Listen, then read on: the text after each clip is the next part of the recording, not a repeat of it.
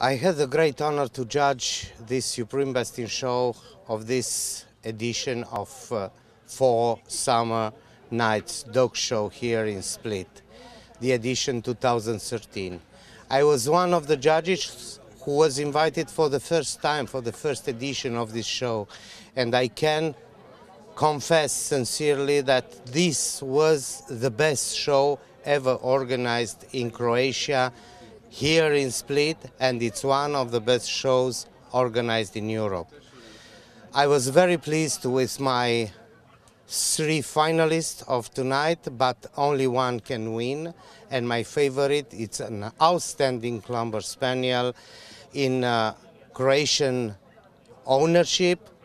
And I'm very happy that I was a part of this absolutely unique kinological event here in Split.